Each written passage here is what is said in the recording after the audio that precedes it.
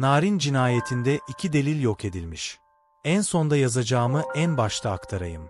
Narin cinayetine ışık tutacak olan iki delil yok edilmiş, bir de şimdi zaman çelişkisi ortaya çıktı. Narin'in tırnakları arasında doku izi tespit edilemedi.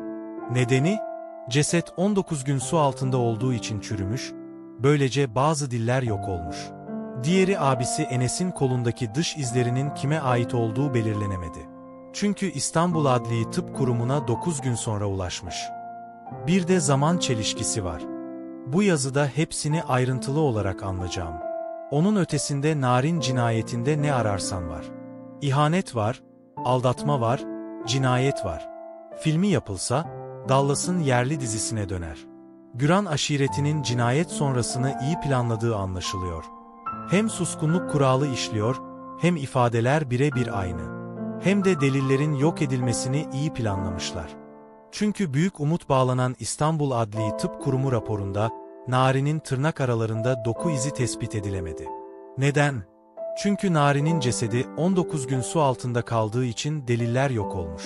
Narin'i suya gömerken bunu planlamışlar.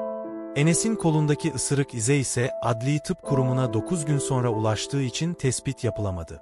İstanbul Adli Tıp Kurumu'nun hazırladığı rapor, Cuma günü tamamlanarak Diyarbakır Cumhuriyet Başsavcılığına gönderildi.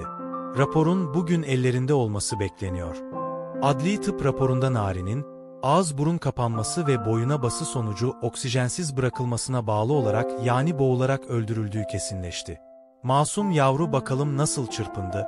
Nari'nin ölüm suyunun Salim Güran'ın koluna ve eline bulaştığı tespit edildi. Nevzat Bahtiyar da önceki gün verdiği ifadede, Narin'i amca Salim Güran'ın öldürdüğünü tekrarladı.